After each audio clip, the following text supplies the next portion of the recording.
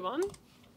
Um, we are happy to start this very early morning panel on dark patterns. And thank you very much for joining us on a Friday morning. I know it may be hard, uh, but here we are.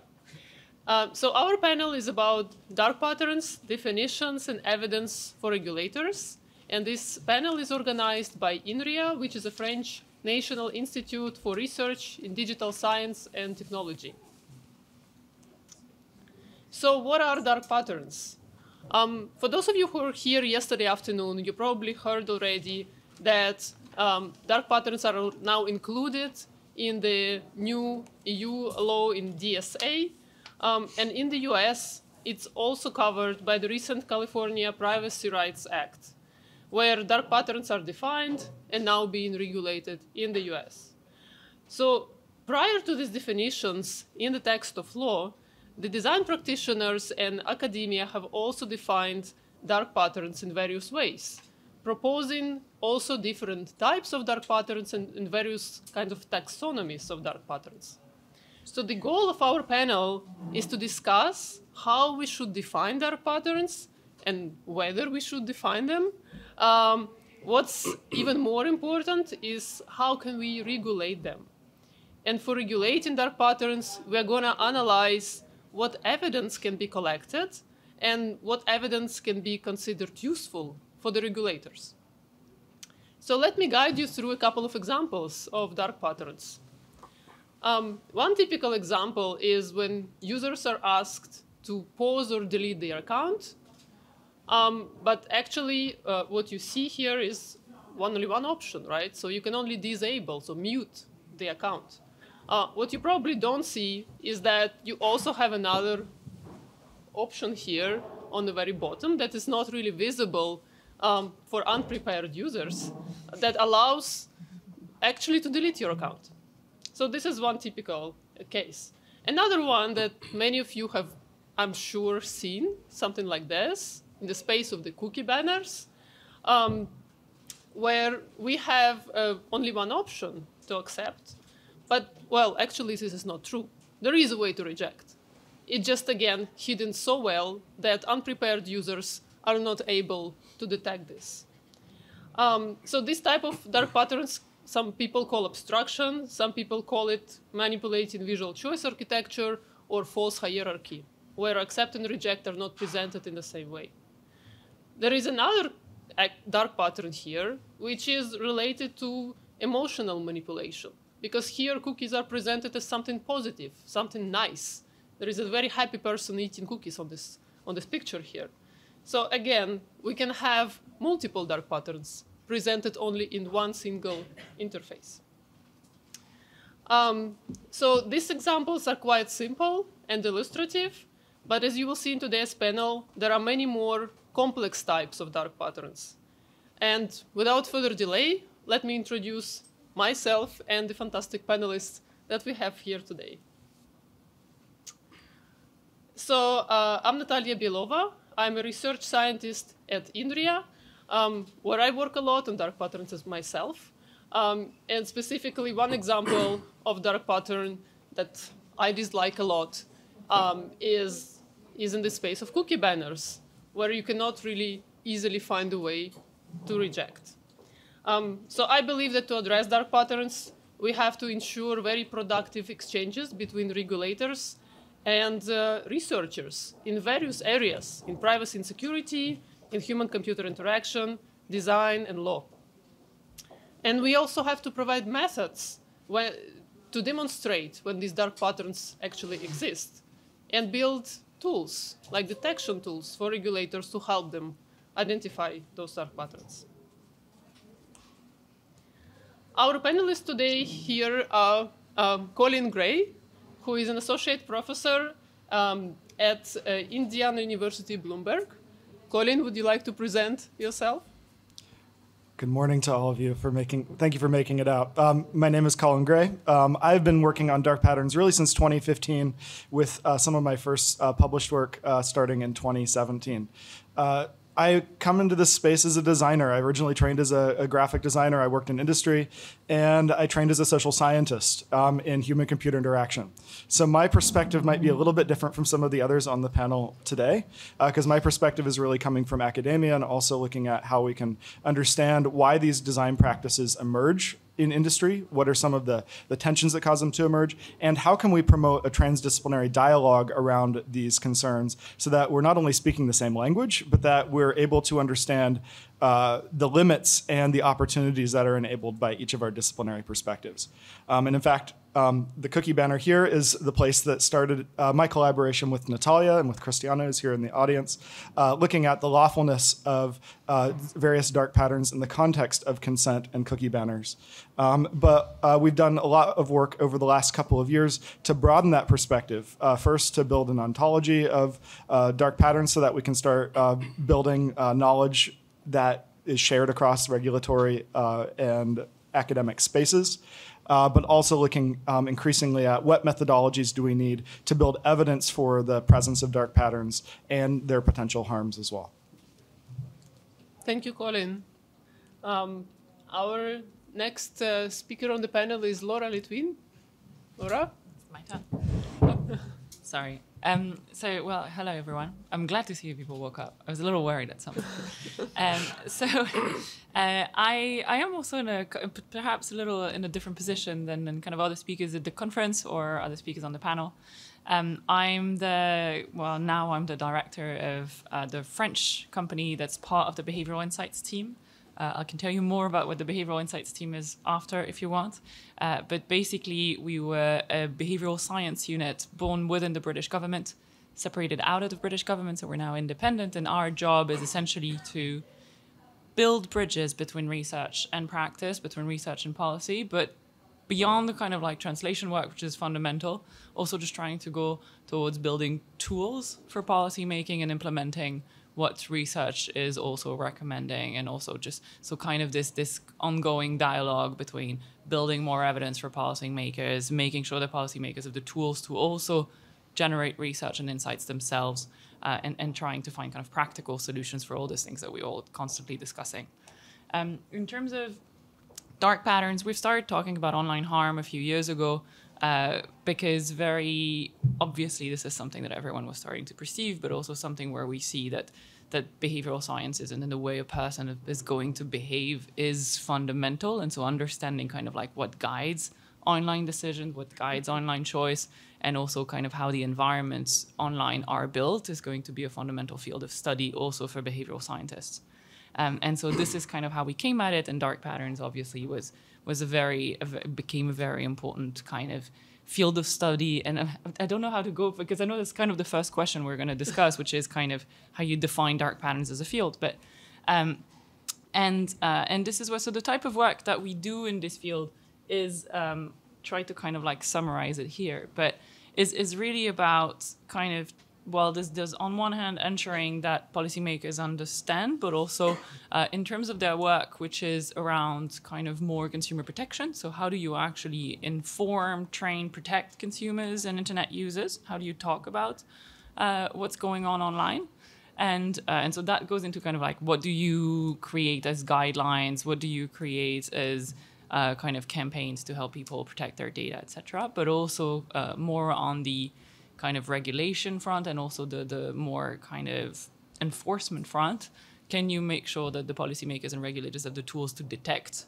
Uh, and so this is where we work with them, uh, but a lot in the UK and now a bit more in France, uh, in Canada as well. We've done some work, kind of working with regulators to build the audit tools that they need to actually detect the patterns, detect the stuff that they're looking for. Um, and then working also on kind of training their staff, which is a really important thing. So it becomes really, really practical. Our work is, you know, once you know all of this, what do you actually do to make it work in the real world for regulators and and for for regulators in their enforcement work and in their kind of protection work and their communication work. Uh, more on this later. Thanks a lot. Um, our next speaker is Bertrand Pailhes.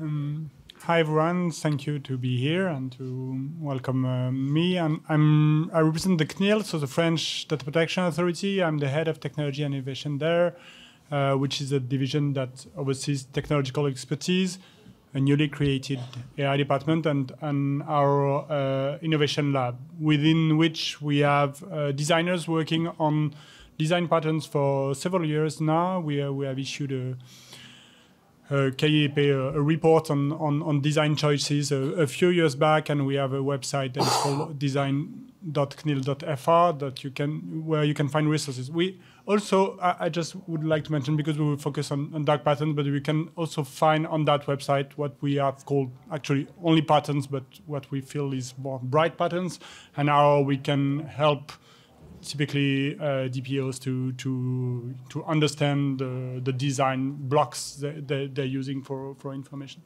Obviously, we're very interested in in that matter. Uh, and uh, within this innovation lab, we we tried with this innovation lab we try to to build bridges with uh, academia, obviously, and to to bring you have the, actually the same goal as Laura and Colin, I think, and everyone here, how we can build on what the academia research is, is finding in actual cases uh, where uh, uh, today it's um, it's not necessarily um, uh, evidence based or science based all the time uh, that decisions are made. Thank you very much. And our next uh, speaker is Dries Cuijpers. Thank you very much, Natalia, and good morning, everybody. Yes, so I work at the Dutch Authority for Consumers and Markets, and as the name already tells you, we are not a privacy enforcement agency in the Netherlands, that's another authority. However, the work on dark patterns is equally important for us. And let me just take a step back. So, I do coordinate the work that we do in the digital economy in terms of consumer protection. And our real goal is to make the internet or digital spaces safe and trusted areas for people to shop in because basically we're all about consumer transactions, which I think where we vastly differ from the um, privacy community. Um, so when looking at this area, there are, of course, a multitude of challenges, and online manipulation is one of them, and it's also one that we prioritize and that we think is actually very important. So um, we do see online influencing or manipulation, as we call it, across a wide variety of different sales channels. And I think that's also important because very often we speak about the web. I think the web is a too limited approach. So we're also speaking about social media, we're speaking about voice assistants, uh, we're talking about um, dark patterns in apps. And I think very importantly, in the near future, and probably already today, we're also talking about dark patterns in AR and VR based environments.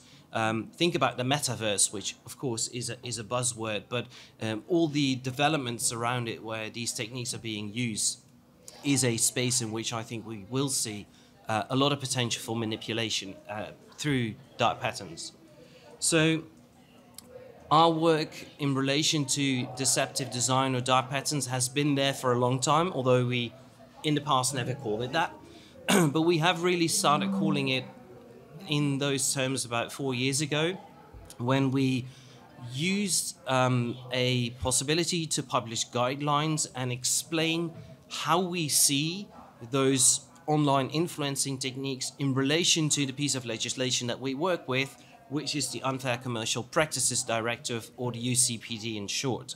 So we published a lengthy document in which we approached various different techniques um, and um, communicated to the market where we draw the line in terms of what's admissible and what isn't.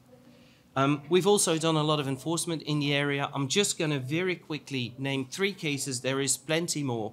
Um, and the first case is to show you that we were doing dark patterns long before we called it dark patterns. And I think the coin had only uh, sorry, the, the term had only been coined three years earlier by, by Harry, who was on a panel yesterday. But this is a case, this is a, a screenshot from a case that we did against Ryanair, who we fined for using deceptive design.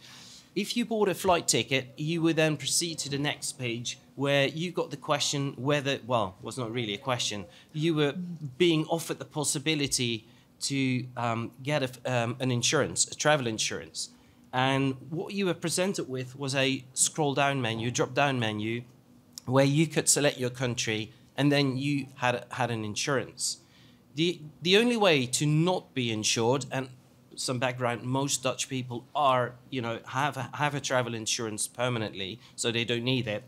Um, we're, we're over insured. uh, um, the only way to not insure yourself was to know that you would find the option "Don't insure me" between Den- Denmark and Finland. Um, so uh, I le- leave you to guess how many people um, did not insure themselves. So uh, I think I'm going to leave it there, and I'm very interested into in the discussion. Thank you. Thank you very much.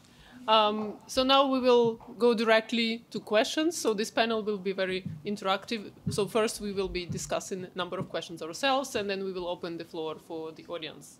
So the first and very straightforward question is, we are discussing um, regulations, right? So how we regulate dark patterns. And so what are the existing and upcoming laws that are already um, covering um, and, and regulating the presence of dark patterns? Um, maybe Bertrand, you want to start? Yeah. Um, so obviously, GDP, uh, GDPR is one of the of the coming law, um, one of the existing law uh, already regulating dark patterns. So I would refer to the EDPB guidelines on on uh, deceptive uh, patterns in social media. I guess it's the right uh, the right name, where we try to provide some insights about that and and what you will find in that guidelines is that uh, first the, the, principle of fairness in Article 5 of the GDPR is is the basic uh, obligation that would uh, can be used by regulator to uh, to qualify a dark pattern and, and, and sanction sanction it. Obviously, with other type of uh, uh, other other principles with which um, several decisions has been made in in in the past years. Uh, transparency, transparency is the most the most evident one, and the the way the all the obligations that you have uh, about informing the users and getting consent and informed consent and free consent uh, for certain action, either based on I mentioned GDPR, but uh, we also have used a lot, obviously, e-privacy directive, combined with the definition of consent in GDPR. So the recent changes that you've seen in cookie banners are really related with the entry into force of GDPR that have changed the, the notion of consent that is used in privacy and, and, and then uh, uh, helped us to, to uh, require a more balanced uh, design for, for, for, for, for cookies. Uh, perhaps two other principle applies from, from GDPR. One is accountability uh, which is an important aspect, I guess, in the discussion today, because um, one of the key issues for regulators is to define whether you you need to to say, okay, this is always. If you say this is allowed, this is prohibited, people will try to get into into the the the case the the box where it is allowed, but perhaps without with, without really doing what you expect them to do. So we building on accountability, we, we want to have also a case by case approach and, and first let the companies the liberty to perhaps design uh, patterns in in a way that is not, uh, they can be more creative than we are, in a good way or in a bad way. And, um, and it's all, it helps us also to have a, an evolutive, an evolutive um, uh, guidance that can also uh, um, react to some new uh, dark patterns. And the last, uh, obviously, the last uh, principle that applies from GDPR is privacy by design, uh, which is something that is not the most easy to enforce, but uh, one of the, I think, one of the big expectations from the GDPR legislators uh, regarding these aspects. Thank you. Dries, would you like to continue? Yes, I'm happy to. Thank you, Natalia. And I'm, I'm I've got a lot to say and I'm trying to be really, really as concise as possible. So the question is twofold, right? On the one hand, what le legislation is upcoming, which I think would probably almost uh, justify a separate debate because there's so much coming up. um, particularly, I mean, I'm not so sure, of course, about the privacy realm, but particularly in the consumer protection and platform regulation realm, we are um, looking at the DSA, which, of course, I think is the first European piece of legislation that explicitly mentioned dark patterns, whether we're happy with it or not. Um, I think there's also um, the Data Act, which is going to have some implications.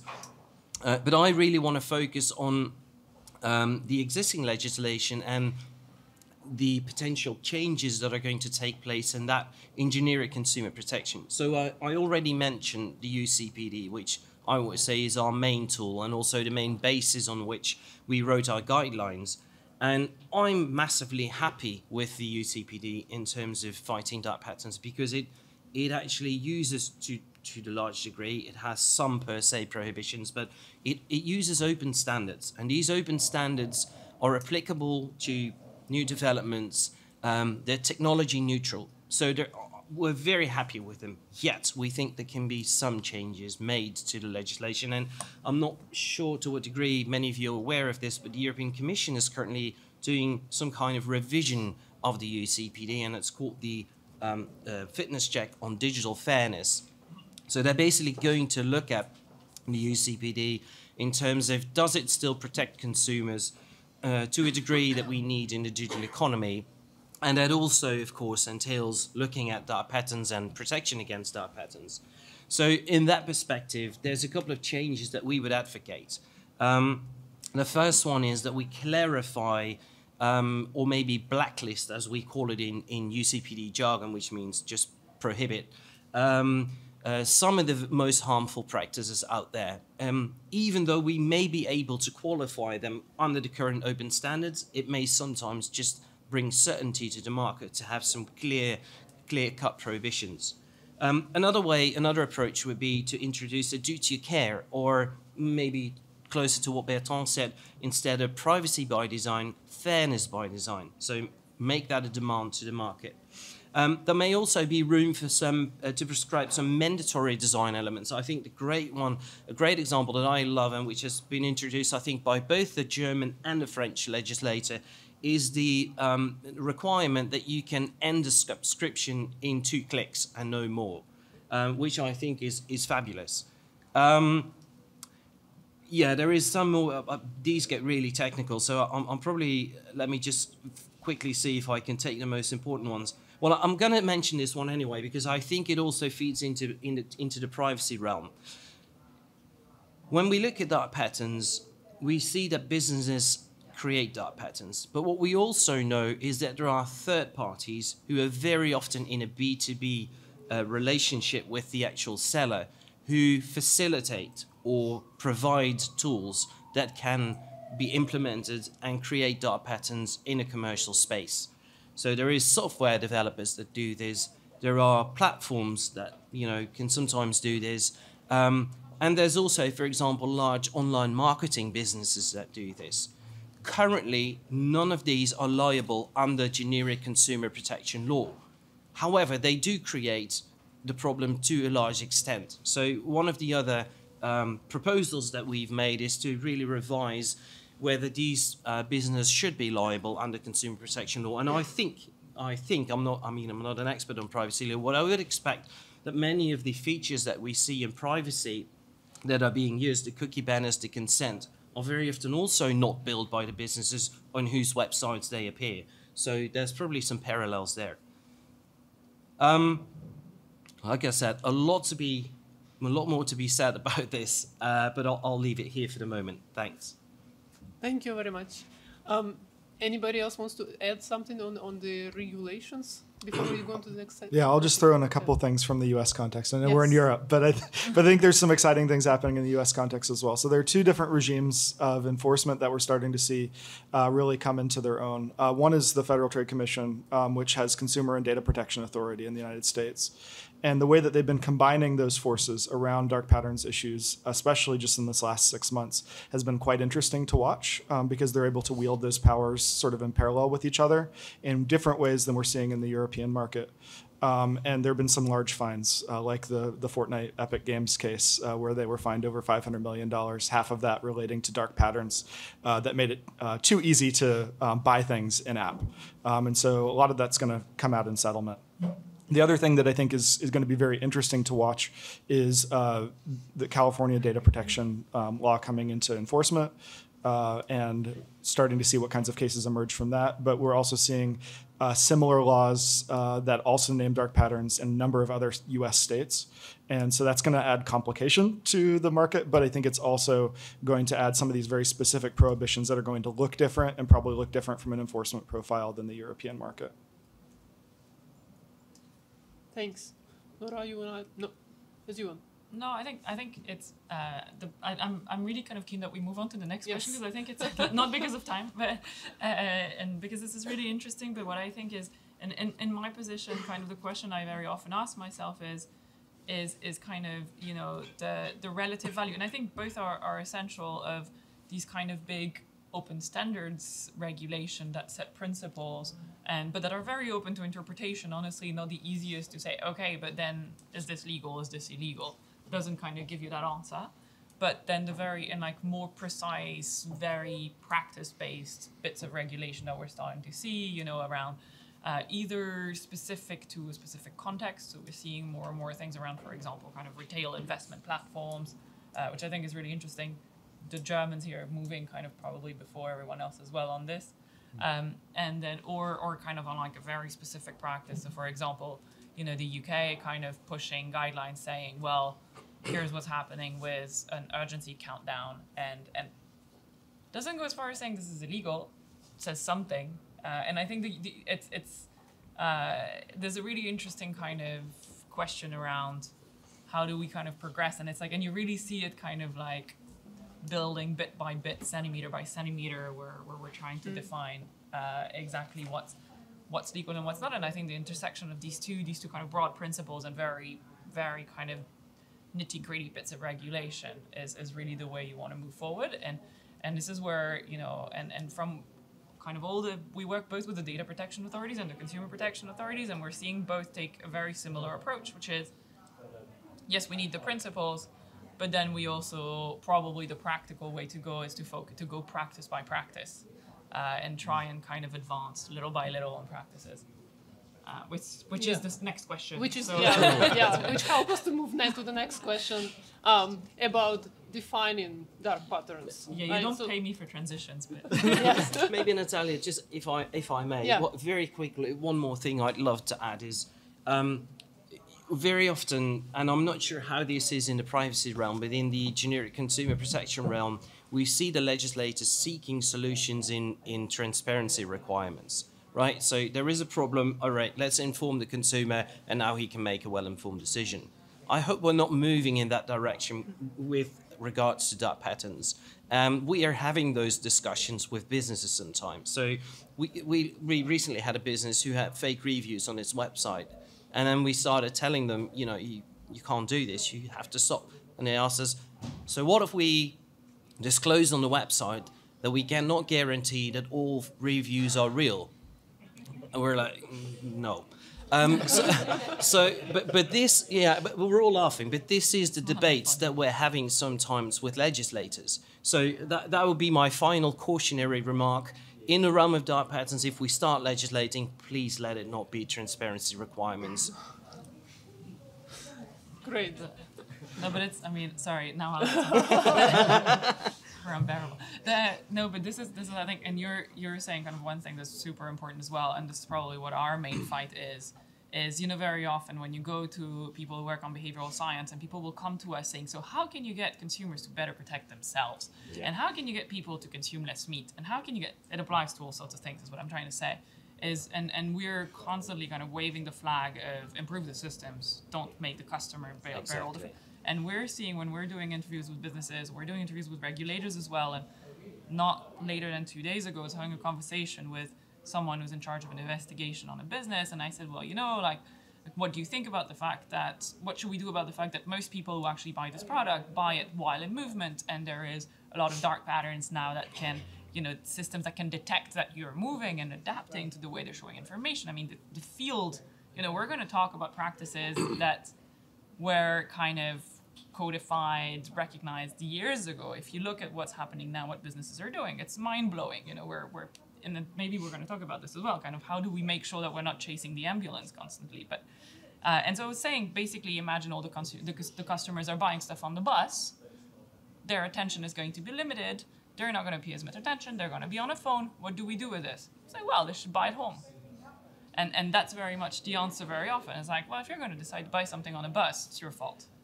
Uh, what do we do with that? Uh, it's an interesting question. Yeah. Let, let me probably yeah. move on because we, I'm- ha- I'm- we have I'm not really, really deep, interesting questions to discuss. So Sorry. let, let's just move on to the next Yeah. one, right? I'll try. Um, so we, we want to discuss what the We're unified definitions of dark patterns, right? So there are many different ways of defining them. There are there are different types of dark patterns. So which definitions would be acceptable um, for policymakers and regulators, and which definitions already exist in other spaces like in, in the academia? I, I would like Colin to to start now the conversation. Okay. This is a this is a long conversation, but I'll try to keep it short. Um, so I, I think we've had a lot of knowledge building that's happened in in the academic space in the last five years, which has started to wrangle this uh, what is sometimes a chaotic space. But I think there's a lot of convergence around sort of a high level abstract definition of what dark patterns contain. And in fact, the slide that Nataliia started with um, shows you know these sort of two high level definitions from the California authorities and then from the DSA as well. And both of those definitions have I think some high level characteristics in common, which we can say apply broadly across all of the low level dark patterns types that we've been, been able to observe. Now, one of the challenges here is that in terms of knowledge building, the practice of dark thinking about dark patterns came from Harry Brignull and from the UX practitioner community. And so they were naming these very low level UI based patterns. Um, and what was sort of missing in that conversation early on was this sort of architectural sense about where dark patterns emerge within in relation to a broader system architecture, in relation to code, and in relation to the temporal user experience, and not just what are they is somebody seeing statically on a page that we can capture in a screenshot. And so, um, over the last couple of years in particular, we've started to see some really um, rapid convergence. Uh, there have been typologies proposed, including my own and one from Arunesh Mathur and others, uh, that have started to wrangle the space, thinking about high level and low level patterns. And then the regulatory reports that came out last year did us a real favor as well by starting to consolidate the space even further.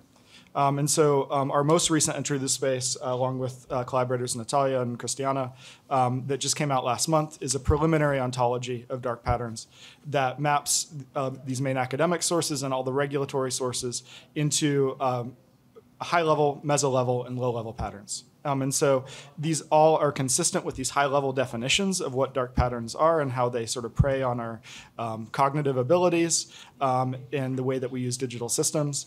Uh, but this also reflects the fact that dark patterns are going to be manifest at a low level in an interface, whether it's a voice user interface, whether it's AR, VR, whether it's uh, an app or, um, or a website. Uh, but there are some higher level abstractions that we can start to use to really discipline our mind about the space, understand what some of the cognitive biases or design approaches are that are actually subverting user expectations or autonomy. And we can use those predictively to figure out what other kinds of dark patterns might emerge, both in well known contexts and in emerging technology contexts. So I think that helps at least maybe start the conversation on, on knowledge types and, and dark patterns definitions. Thank you. Um, Bertrand, would you like to tell us what kind of dark patterns can be considered uh, at the CNIL? Um, yeah. Um, so, so for, for us, as I was mentioned in the first round of discussion, uh, we it's useful to have technology neutral approach and to have general principles on which we base our decision. And I think it's something also uh, when decisions are made by non-specialists and and and, and lawyers uh, advocating for for or against, at this stage they're, they're more comfortable. They're more comfortable with general principles such as transparency, privacy. Even privacy by design is quite new. They, it's difficult to handle for them. Um, uh, accountability as well, but fairness and transparency are, are, for legal people. It's it's something that they, they can work with. But obviously, the goal, the ultimate goal, is to bring into their mindsets new concepts and and and and and and new tools to say, okay, this is clear. So what we I think so the fact that dark patterns are in the law now is a is also something that uh, lawyers will ask, okay, is it? So how do I comply with th that high level definition? And they would need to answer that question and, and to advise their, their clients, say, okay, you need to do that to avoid being in that category. So, um, and perhaps to, to build on what on what Colin says, we, we still so we, we try to integrate some of the of the ideas. So there have been an, some other definitions in the EDPB guidelines. That is, that is one input, perhaps with a data protection regulator point of view. That, but it's not. It's not. I, I don't believe it is. It will be used by the word by by regulators after that. What we've seen, I think, perhaps two two um, two examples of what we've seen in 2019 when we when CNIL issued a decision against um, a large uh, operating system provider they're like the largest in the market. Uh, I think now the, the decision is so I'm not sure I, am able to say the name. uh, about the crea- the, the uh, account creation on the on on on this uh, operating system. Um, if you look at the decision, we're basically saying it's overloading. You, you have a dark pattern that in individual lines, it will be overloading. You have too many informations dispersed in different aspects, and it's it's not so it's not uh, compliant and it's so it should be uh, it should be changed. But in 2021, in a decision against Facebook, this one I can tell uh, about cookies, we perhaps we get, we got a little further where, because we cited a work from from Cambridge and MIT about the consent uh, figures uh, when you don't have a, a, decline button on the on the first web page, and I know that it has been useful for the regulators to actually to convert what is obvious for the decision makers, the fact that if you don't have a decline button, you're incited to, to, to click on accept, but to be able to put that into the, into the, the decision is, uh, I think it, it has been helpful, and to have further work on that will be helpful in the future. Perhaps one last point that I could mention is what we don't do, and we perhaps we should do, is look at we we we all uh, friends of dark patterns here, if I can say, uh, uh, from academia, from from from regulators, and and we we uh, we don't uh, we don't look that much to what the industry is doing. What, for instance, the advertising industry is doing, and I know that they don't call that dark pattern; they call that conversion improvement mechanisms. Something that, that so they have a whole range probably of tools that they're using to do the exact opposite that that don't want us that that we don't want them to do, but with different terms, perhaps without an academic approach, but really more business-oriented approach. Uh, what we don't have the time to do, but one at one time I saw I don't know an advertising conference in Washington. I said, oh, we should go there because it's like uh, like uh, children say children advertising how how to make them click. It's, it was like the title of the panel was was really so different from cpdp and, and and and probably this is perhaps there is a missing link to do there to go to to uh, to to do the correspondence between what the academia the regulators see as dark patterns and what is seen as good business practice by the by some of the some of the business industries can I can I Thank add something, you. Nataliia, yeah. quickly? That just just quickly, I think there is there is a definition that we kind of you know everyone uses sort of slightly different words, but there is a sort of we could all here in this room say yes, dark patterns or practices online of interfaces that manipulate, influence, use slightly different words, change the verb according to how bad you feel about them, uh, in consumers into doing something that they didn't intend to do before. And I think to me, this is the crucial bit that actually kind of also is is the problem of you know how do you translate these principles and how do you also kind of create these bridges with the industry that and they call it my favorite term for it is digital engagement patterns. It's like you know and that's the idea it's like how do we engage? And and this idea of like yes but how do you know what the consumer intended to do at the beginning and the entire field of marketing is about encouraging someone to do something that they didn't necessarily intend to do before uh, and so, kind of, how do you reconcile this bit is is going to be crucial to everything. Kind of how are we going to enforce? How do we how are we going to because you want something that becomes self-enforcing, right? We all know that we're not going to. I mean, I don't do this, but you're not going to be able to kind of take everyone to court one by one. The point is, at some point, something kind of creates itself and it starts self-enforcing. Um, and and and so this this bit around kind of what did the consumer intend to do and and how how how much is it acceptable to shift the consumer's behavior is a mind-blowingly hard question. Uh, and i think this is kind of at, at the core of everything. After you know the work that people at colin produce is super ultra useful to create lists and you produce as well sorry. The, um, uh, that, that you know super useful to kind of create these taxonomies. Uh, are they are they useful on a day-to-day basis for regulators? They are for people like Brice and Bertrand were sitting at the table read these papers and and can do them. You know, then there's work to be done to translate them to, to, translate them for everyday enforcers. I'm sorry if I should. was, it, was it bad what I said? It's very readable. I love them. I've actually read the ontology. Uh, it's great. You should all read it. Um, but and I think and then and then there's a separate question I'll just put on the table is, you know, is the term useful? Dark patterns. I think it is internally, and and we're seeing more and more people want to hear about it.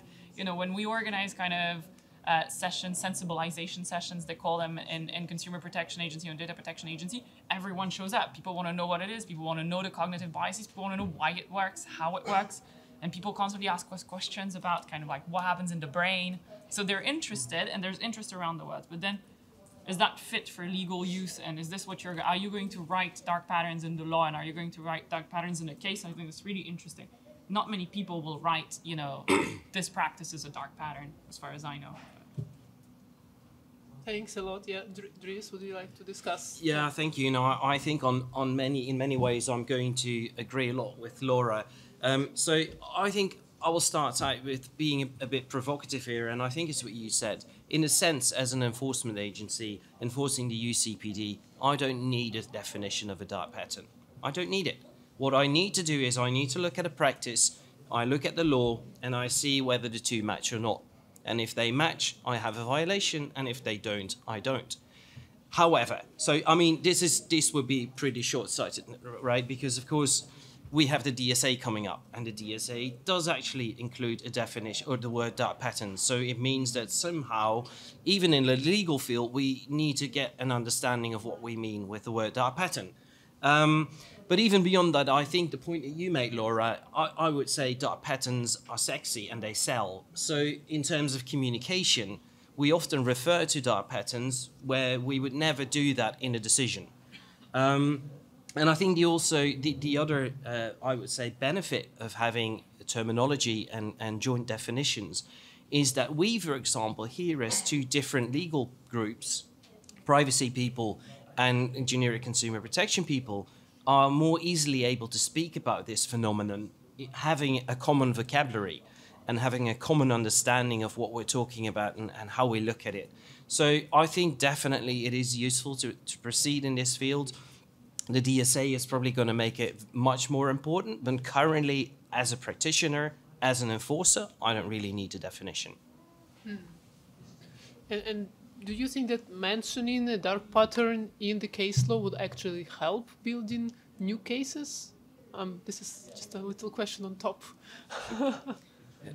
In what sense? So, if we were to write a decision that we would speak about dark patterns, I would fear that it would actually complicate matters unnecessarily because we, we interject new term, terminology that a judge would then start asking what we actually mean. So as long as we don't, I mean, I would I would always be hesitant to introduce anything in a case and evidence that we don't need. I'm, I'm going to give you an example of one of the saddest days of my professional life.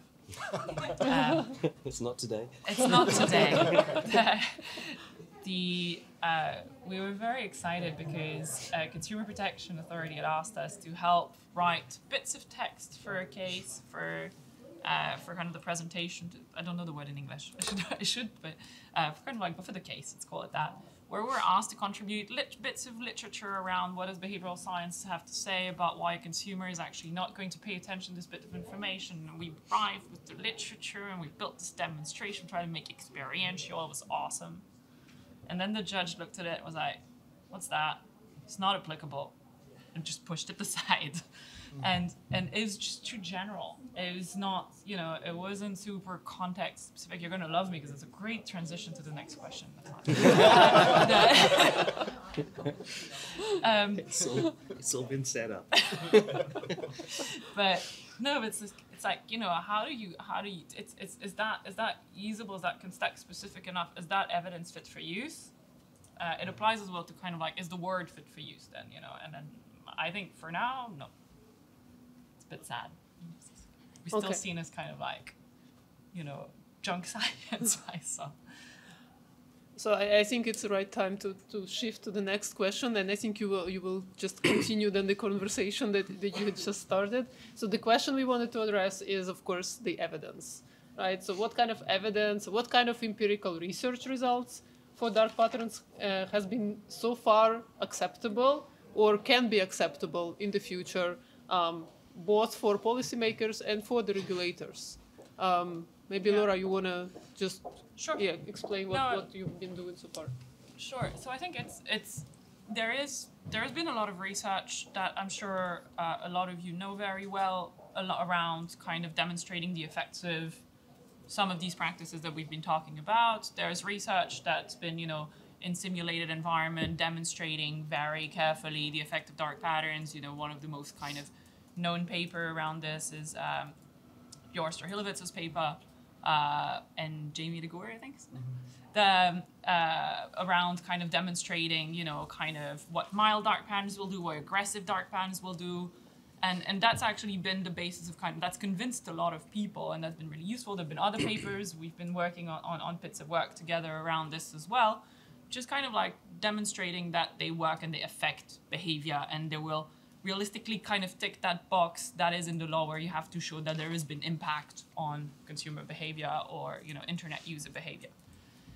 Um, that will, and you know, we've done also a bit of work, which I, I actually think is very cool uh, in Ontario with the uh, Ontario Consumer Protection Authorities as well this year around kind of uh, trading platforms and, and showing that gamification, dark patterns, and other behavioral techniques on investment platforms have real impact on real world behavior. And so, just for example, just to show you the, the kind of the scale of the problem, uh, we've showed that introducing kind of a points-based system that had zero monetary value, zero impact on anything that you were doing with your trading, encouraged people to trade 40, like to, to make 40% more trades than people who just were not in the gamification group. And so, so this type of work that we do and that shows that this has impact and that can be harmful to consumers convinces regulators, policymakers, some of them, and we managed to kind of get the conversation. This is where the conversation around why we're all talking about dark patterns, why, you know, kind of internally and in, in kind of like policymaker circle, we can talk about them and the fact it matters. Um, even then, the first question we're asked is, but how big is this? How big is this problem? And this is why a lot of the research that we've been commissioned to do by policymakers and by regulators at the European level, at the country level, is around scale. Uh, there's been, and it's not just us, of course, I'm saying us as a community of people who do this type of work. You know, the LSE has done this big piece of work for the, for, for the European Commission around kind of trying to quantify this, the scale of the problem. Uh, we're doing similar kind of bit of work right now with uh, the Competition and Market Authority in the UK. Uh, there's been work around kind of can you quantify the, the magnitude of the presence of dark patterns on, on um, mobile apps. That's mobile app. Uh, uh, on mobile apps. Um, and so, so the first question is scale. And I think this goes to kind of also a legal demonstration problem, which is, well, first show me there's, show me there's impact. And that's the first thing we're asked to show. And so this is where researchers kind of have to gather and say, okay, how do we show scale? It's not that easy, right? Because some of it is, some of it will be very easily detectable at scale. And I think, I mean, I don't know if you're going to talk about some of the work you guys have been doing around kind of detection at scale of some practices, but but that's interesting. And there's also, but it's it's also not that easy. And very often, what it looks like is we're training hundreds of people to do audits on websites. It's it's very manual still. Uh, if anyone has built a ChatGPT extension that does that, let me know. Um, and uh, and also then, sorry, last bit of work is that once you've done all this, it still isn't enough to convince a judge, or it's not, sometimes it's not even enough to go in front of a judge. It's not even to convince anyone to try and prosecute. Um, and and this is where what the regulators have been asking us is for really kind of give us quantifiable, absolutely unattackable evidence in a context specific on a specific type of population of the effect of this specific pattern. Concretely, they're saying, you know, we want to start a case against company A, show us that on the website of company A in my country in this time period, this is at an impact. It's doable, it's expensive, uh, it's slowish, uh, and, and, and so this is where uh, and so people like so we we've been trying to kind of and this is where I think what I was trying to say at the beginning around kind of this kind of intermediary role that we try to play and we're trying to build tools for regulators is is we invest a lot of time in trying to kind of construct ways for regulators to be able to experiment quicker and to build this evidence themselves quicker. And so we build behavioral audits tools with them, for them. We train their staff in trying to be able to use them. And when I say staff, it's not just, you know, kind of the innovation team or the tech team or, or the really, really highly skilled specialist. It's every agent that actually controls a website. Um, and we also try and we run studies for them, but I think it's it's kind of like how do you create tools to make this evidence gathering easier? And then the, the point of like the training of the staff is also you kind of hope that at some point people will go over the idea that you need to demonstrate the impact on a specific website at a specific time, and then you'll create enough kind of precedents so that then the practice becomes into law. And, and we've seen some examples of, you know, a first big case kind of leading to, to jurisprudence and then to leading to kind of like regulation that makes it very clearly uh, illegal to do a specific practice. But that's going to be practice based and it's painstakingly slow work. So. Okay, uh, Colin, would you like to share with us also your your um, experience will build in evidence? Yeah, I love that you said junk science because that. uh, So I was working on a case uh, for a couple of years uh, by the state of Arizona uh, uh, brought against Google LLC, and in fact, it's probably the that was probably the worst day of my professional career. Was the day that I got a, a motion to dismiss my testimony um, because they were basically well. You look at the table of contents and it's like Dr. Gray doesn't know how to do this and he doesn't know how to do that, and his work relies on junk science because they were trying to dismantle this notion that deceptive design practices and dark patterns not only were present in their product, but that it was even a useful lens um, to to um, be starting to look at these things. So. Um, I, yeah, I mean, I think the issue that you raised of whether the term is fit for purpose is a really important one. To me, the value add is still that it's connecting people that would have never been connected otherwise. And I think this is really critical for the evidence stage that we're really in now in terms of form, forming this community. Because I would have honestly never probably met people like Nataliia and Cristiana. I would have never known how to have a conversation with them uh, because I'm a designer, I'm a social scientist. Um, we didn't have a, a sort of a knowledge based interact around. So when we think about generating evidence, I think we need evidence of many different forms. Um, and so this is work that we're starting to do and starting to look at a little bit more closely. Um, in case law, there isn't a lot to go off of at this moment in time uh, for reasons I think that have already been discussed. It doesn't need to be disclosed, disclosed in case law, or it's part of the argumentation period, but it doesn't really ever make its way into the final decision. Um, but I think understanding what forms of evidence that we can generate as academics, as regulators, as, um, as designers is going to be really, really uh, important and critical. Um, so there are a few different angles that I think might be um, useful as at least a starting point. Uh, one is looking at the academic research that's already been done on dark patterns. Uh, we put out a systematic review um, just a couple of weeks ago, uh, looking at um, about 70 sources that have been published in the last um, the last decade or so, um, and it, it, that number is increasing pretty dramatically. Um, and looking at what are some of the underlying methodological practices that are supporting that. Some of these are large experiments at scale, um, but there are also some uh, content analyses, which actually are the probably the most critical form of evidence gathering that have shown us what um, sort of the breadth of the problem. You know, so these are the kinds of studies that tell us that you know 90 plus percent of apps include one or more dark patterns, or 90 plus percent of um, consent banners include one or more forms of dark patterns. Those are still manual inspection techniques that we do need to find ways to automate or at least support um, human in the loop um, alongside detection or um, automated detection. Uh, there are also other studies, though, which I think have been underutilized or under um, under underestimated, um, which is the studies that companies themselves are doing on their own product. Um, and this is something that was a really powerful tool that came out in the Google um, case. Uh, we got discovery. We were able to look at a number of user studies that they had uh, conducted internally. I can't talk about the user studies th- themselves, but uh, essentially it showed that users were very confused. And uh, that Google knew this for a really long time. They just refused to act on those decisions.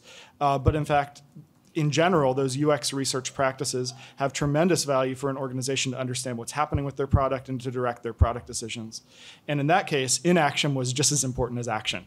they knew what the problem was, uh, but they refused to act. Um, and in many companies, you know, actually being able to understand based on A/B testing or based on even very small-scale user studies that there's confusion or um, that these practices are being used to actually subvert user autonomy, um, I think are a really powerful tool that we haven't really utilized um, as much to date. So figuring out how to stitch together those academic community methods, which uh, I think are relatively well understood, but still underexplored in relation to dark patterns, especially around content analysis.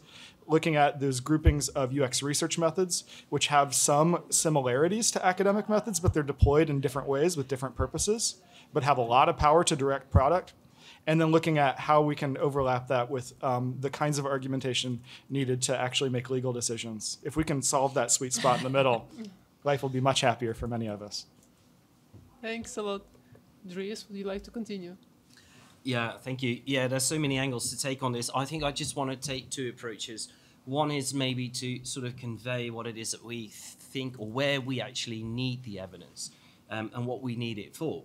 Um, and I think maybe um, this might be a little bit specific to the Dutch context, but I think it applies to most enforcement agencies. Is that the first stage where we actually need um, evidence in terms of prevalence and harm of dark patterns is when we start selecting cases, when we're trying to prioritize, because of course we want to be doing the most important things, the most harmful things. So um, knowing what those things are requires some kind of knowledge on what's happening and to what degree that's harmful. Of course, and I think that was mentioned already by Laura, and, and which is probably the most obvious one, is you know we need to be able to demonstrate some kind of impact in terms of uh, bringing evidence on on violations of the Unfair Commercial Practices Directive. And lastly, and again, this may be more typical to the Dutch um, legal situation, but I'm not entirely sure on that. and I, I would expect that this probably starts sliding in, in other jurisdictions as well, is that increasingly it seems that the Dutch uh, judicial system is asking us to really motivate the level of a fine by showing the impact of those practices. So I think that's the three areas or the three reasons why and where we need the evidence. Um, thinking about the, the types of evidence that we can use, um, I, I, would say that you know some of them have, have, already been mentioned, and I really have sort of four types of evidence in mind, and I don't think it has really materialized. You know what the best type of evidence is, and it's probably always going to be a mixture. Um, but I, when I think about it, I think about the very generic evidence, right, that we have on uh, from psychological science, where we know, for example, that scarcity is a is a strong bias and, and triggers people, uh, maybe more than other biases. So so there there's there's on a very generic level is evidence. Um, I think then, secondly, of course, there are studies into the effects of specific uh, commercial practices. Think, for example, about low stock messages. How do they work? How do generically? What are the generic effects of these? And then, of course, you know, like you said, we all, always actually really want to know how the specific um, uh, marketing practice impacts the consumers of business A when they buy product Y. But like you said, this is hugely re- resource intensive and also takes a long time. So, I mean, it, it really doesn't speed up cases. and I'm not sure if we always need this. So uh, there, there, seems to be a lot of thinking that we always need this. I don't think we do always need this. And the fourth one is, of course, the evidence, which I think um, Colin already alluded to, which is almost ever present in any business that conducts an online selling, which is the A/B testing or the uh, the UX research out there. And of course, we have the powers to ask for the information and look at it. So I think these are the four types of evidence that I have in mind, and I'm not sure if that's completely useful in this discussion, but uh, it, I hope it is. I prefer to be called generic science than junk science. to be fair, that's fine. it's a progress. Bertrand. Yeah, I, I, I do not have a lot to add. I think we I agree obviously with the fact that every decision is really context based on the, you know, in our case, the French users of specific type, a specific type of web, website, and probably the the judges that, that make the decision they, they try to assess the distance between you know, one paper and the actual case they're they're facing it, and if they feel the distance like they say, okay, this is valid as it's a valid point, or I will get in an argument with the lawyers by saying, oh, it's it's a completely different, study, and so so that's trying to map what the needs of the regulator and we need to express what, what we what kind of, of case we have is, is important. Trying doing the ontology that you that you publish, for instance, and showing that it's scientific consensus consensus on things is also helpful to say to avoid this, this legal discussion with the counterparts. So they say, okay, it's very specific, saying no, no, it's not very specific. You have several studies that say all the same thing, and your case is not in any any of the studies, but it's it's close to them, and it is and so we can build an argument. I think that that's that's uh, obviously uh, useful. I, I, share the idea of, of how it can help investigation methods and, and and help us to ask for UX studies, user studies of companies, and say, okay, provide me with what you've seen, and probably you you have you have results that show that that you try to to deceive, for instance, users um, is, a, is an, an important aspect uh, also.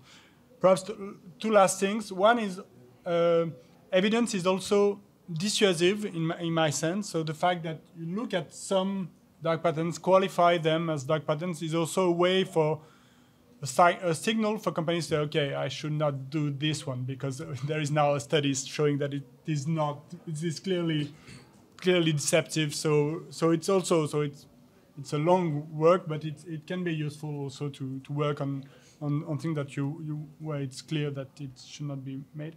And the last point is is, uh, is also uh, as mentioned by Dries.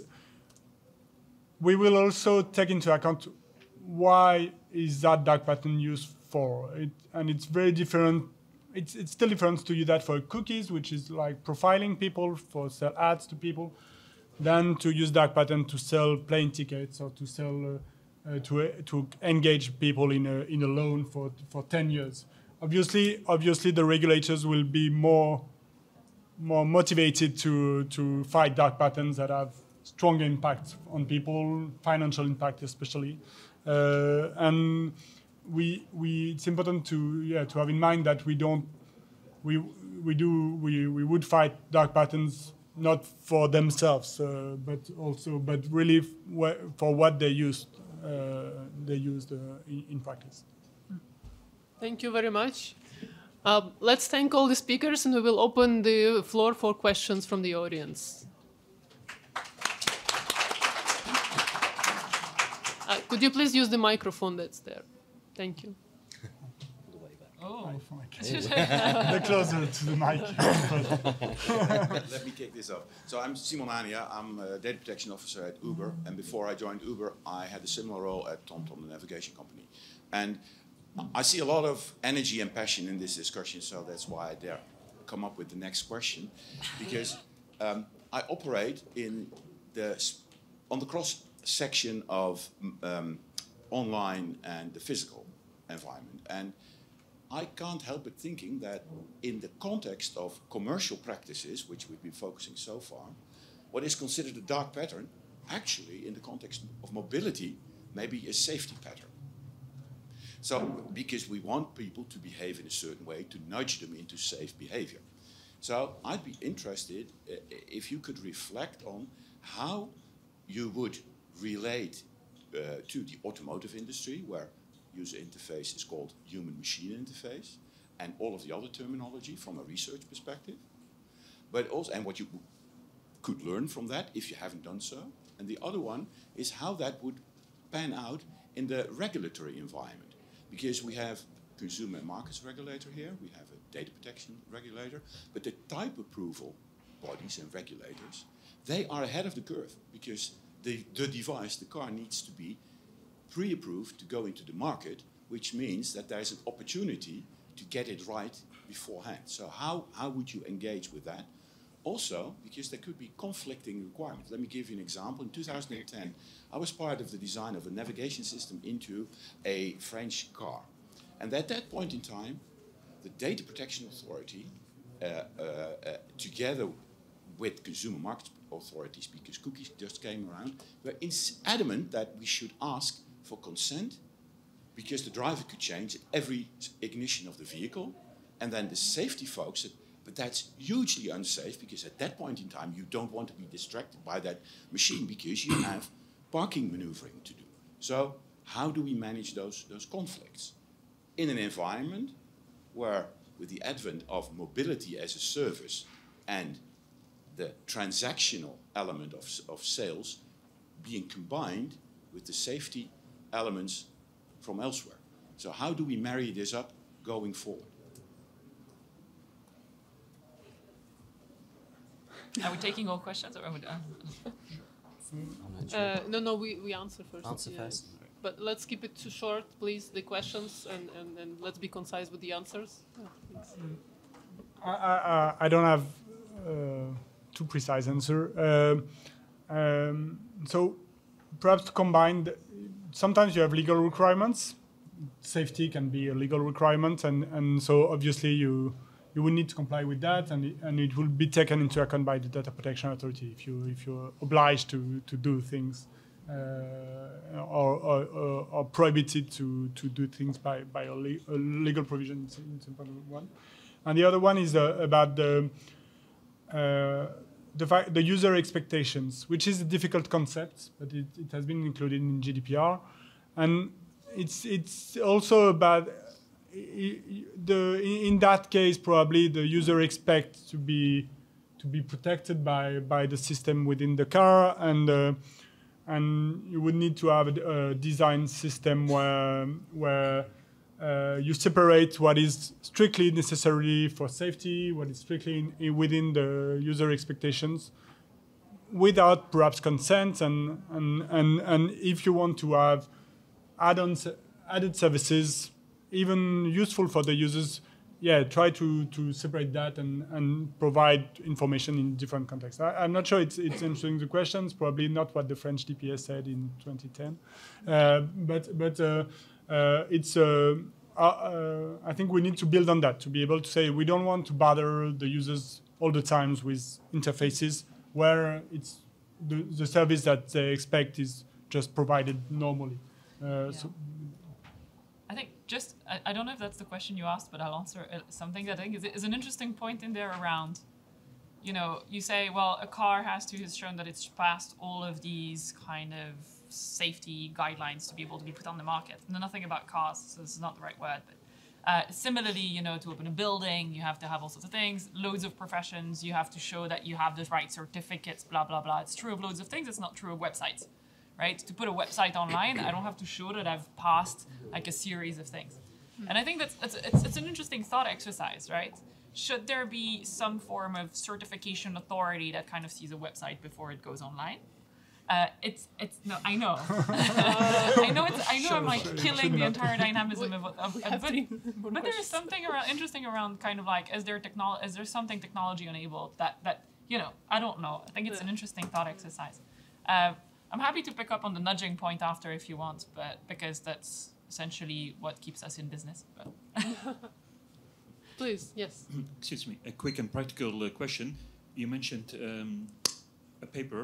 Uh, could you please perhaps uh, repeat the, the authors? You mentioned a review of sources. Could you perhaps provide the, the names of the authors so we can find can we them? perhaps we can even kind of put them online or something? I don't know. But- As a way of sharing resources. Um, I, I I, think, I think there many of the links are on the opening slides as well, aren't Yeah. they? Not necessarily of the paper you mentioned, of the, uh, the mild and the aggressive. the paper of Colin, the Nataliia, one- and So, Christine. no, so the one I mentioned is is Jor Strahilevitz. S T R A H. we can take this offline, I think. Yeah. Okay. Yeah. Yeah, the other two papers that were referenced were um, uh, towards a preliminary ontology of dark patterns, um, Nataliia, me, and Cristiana, and um, a similar paper, um, systematic review of dark patterns literature. And I'd be happy to get you the reference afterwards if you'd like. Okay. Please, yes. Thanks very much for, for sharing your thoughts. It's been really interesting to attend the panel. Um, I have one small comment and I have one question. The comment is I would just uh, slightly challenge Dries's notion about transparency not being the thing for us to focus on. I agree it should not be the only thing for us to focus on, but very much so in the internet, people, uh, people are very much dependent on information to be able to know what is happening with their data. And even though GDPR has pushed for more transparency, we are still very much lacking in that space. So I would very much hope for more transparency, but also for more control. And I think that's also where the design patterns are and deceptive patterns are really important. I'm a UX researcher and designer, and at SciTech, I'm really thrilled to see that there is more attention to this link between design and privacy and uh, other effects on consumers. Um, I'm also slightly uh, worried that uh, we are coming up with um, a topic that we think is important to address, which I completely agree with. But if I think of the GDPR and how that has been enforced, I'm a bit unsure if we're actually be able to put uh, you know our money where our mouth is and actually enforce things in the way that we want them to be. We are now six years, no, five years beyond the um, enforcement date. I guess yesterday, five years of GDPR, and we still see a lot of problems with, especially how things like cookie banners are being used. So my question to the panel is like, how hopeful are we that we are, are able to enforce these kind of measures in a more strict or more clear way so that consumers, but also companies that are designing products know how to move forward in a consistent and consumer respecting way? Thank you. Yeah, uh, thank you very much for coming forward with, with that comment. Um, and, and, I'm happy to pick up on it because I was rather provocative on it. And I think I do agree with you that transparency absolutely has a place. Disclosures absolutely have a place in consumer protection, and there certainly is information that needs to be conveyed to consumers. I think also, and we've done research also to to see how we can improve transparency. So we've done joint research, which is on our website, for example, in relation to pricing and ranking. Um, where we also jointly with the business community looked at how we can improve transparency uh, messages. So I absolutely agree it has a place. I think where I came from when I made my more provocative um, um, uh, remark is that you know we sometimes really have the um, idea that the legislator seems to um, approach transparency requirements as a, um, a one size sorry fits all solution to all sorts of problems where it very often is actually not a solution. I mean, it's a political solution because you it appears that you're protecting consumers and you're doing something, but in, in effect, you're not really doing much. So, so that's where I came from. But thank you for the comment.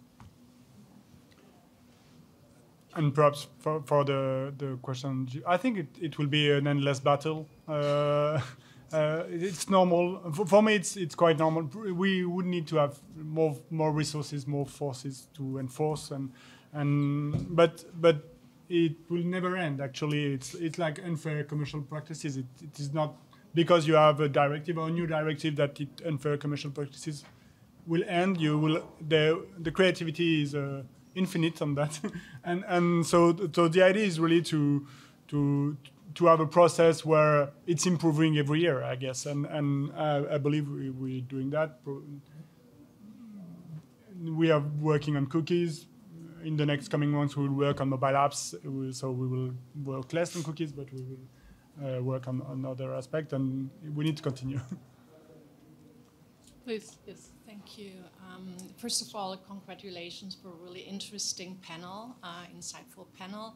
My name is Cornelia Kutterer. I have just started to move into academia uh, at the Multidisciplinary Institute uh, in, in Artificial Intelligence at the University of Grenoble but I've been working for Microsoft for responsible tech and competition for many, many years. And before that, I headed the legal department at the European Consumer Organization, BEUC. Uh, that was the time the UCPD was developed, and so I'm I'm much of a fan of the UCPD as well uh, for that reason. Um, I have two questions, uh, largely for Colin and Dries, um, and it goes a little bit on top of Simon's Simon's question is um, this nudging. Um, there is um, there is always trade-offs, right? When you build uh, a user interface, you have to think about multiple things. It, and, and it can be security and safety versus clarity.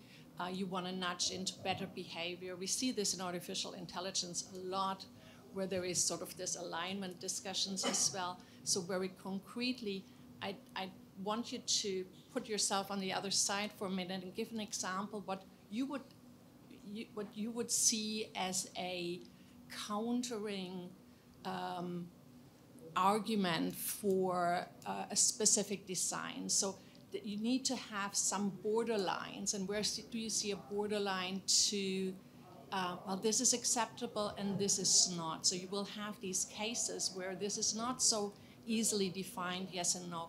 I would like to get you to talk a little bit about these borderlines. And then my second question is a very simple one is in the DSA, um, the um, there is this exemption for dark patterns if there is other laws, and there is the UCPD. So, is there room for the DSA to be applicable in this space at all? Thanks. Should I go? Yeah. Yeah. yeah, thank you very much for those two questions. Maybe to start with the last one, I think it was parts of the um, discussion on yesterday's panel as well. And I think the question about you know the what is the what does Article 25 in the DSA really mean? I think the, the, the predominant answer would probably be we don't know yet.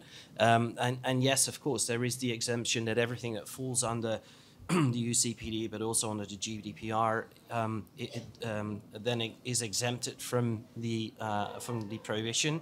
So um, you know, depending on how you actually interpret that exemption, um, it may be that that there is not so much left that directly falls under Article 25, but we don't know yet.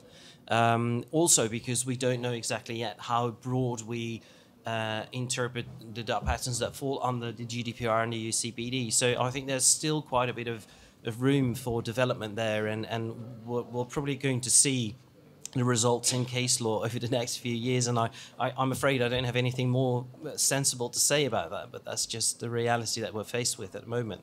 And I, I would say, I mean, in a sense, one could say that Article 25 would be sort of a safety net option, right? So if it doesn't fall under the UCPD and GDPR, and it is in relation to large platforms, we at least have some sort of fallback option. That that's I think how a lot of people look at it currently. Um, I would say that a lot would currently be covered by the UCPD, so I'm not I'm not so sure about the GDPR, but I would have a sense there too which I think it would mean that Article 25 will be the fallback. But if it turns out that a lot does not fall under the GDPR and the UCPD, it would be the other way around. Yeah. Yeah. And uh, there was a yeah. No, yeah, I don't. Yeah, for the first part of the question, I mean, it's a it's a challenging one, and I cannot exhaust it in a couple minutes that we probably have here. Um, but certainly there's a counterbalance, and so that's why in some of my initial work I describe dark patterns as an imbalance of shareholder and user value. Um, and certainly there are some dark patterns that appear to be much more uh, malicious, coercive, um, overtly manipulative rather than deceptive or just like light nudges. I think the challenge that we're seeing, and this is still a sort of unresolved question in the literature, is the compounding effects of these dark patterns. And so there may be some dark patterns that feel in isolation as relatively innocuous, like confirm shaming, where it's just like, why don't you want to join our email newsletter? You know, uh, but if you compound that with three or four other dark patterns in the same user flow, suddenly you have a situation where it's very difficult for a user to exercise their autonomy. And so certainly we can talk about that as degrees of agency or autonomy. Um, but when we think about nudging, nudging for what purpose? Is the user in on the nudging secret? of what's happening to them? Are they aware? What kind of cognitive or perceptual biases are being um, sort of leveled? And are they perhaps part of a vulnerable group as well? Um, and so there are lots of these compounding concerns that we have to consider.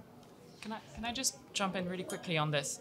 Um, the, I mean, first, you know, we know that knowing your biases and knowing what an, what nudges can do to you is not enough, uh, and and and that's been very well documented.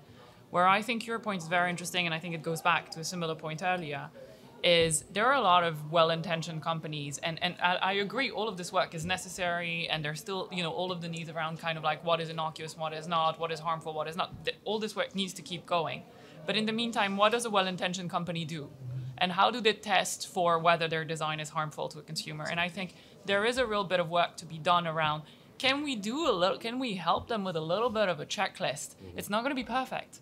It's not going to be. It's of, course there are going to be holes in it, and it needs to kind of kind of you know evolve with time. But can we help them with guidelines around here are ways to test that you're not actually kind of harming your consumers? Here are ways to test that the way you've set your privacy consent and you're doing it. This is basically what the guidelines of the CNIL do, the guidelines of other kind you know data protection agencies do is like here's how to be a good guy. I don't know that we have that kind of you know more broadly for how you design your sa- your sale interface, how you define your your you, de- you design your kind of product comparison sites, et cetera, et cetera. And I think that's a piece of work that we'd be very, very happy to do more on because I think it kind of, you know, not everyone wants to put unfair practices on their website. There are a lot of actually very decent business people uh, and, and that just kind of don't have the tools to know exactly. And, and it goes to the point you were making earlier, kind of the battle, the uphill battle against I'm, I'm, I'm allowed to name people uh, against against kind of you know all of these training programs that we see on like how to create the best drop shipping site overnight. That's super harmful, and we have nothing against it. We have nothing to be like how to create the nicest website for your consumer in a way that's actually going to protect them. Uh, and so, so I think there's there's work to be done there, and and and this is this is an area that we're not doing enough on. I think on this point we'll have to conclude our panel because Sorry. we are five minutes behind. Um, can you please take, take the question offline, please? Um, thank you very much again for everyone, for all the Thank you. speakers. Thank you.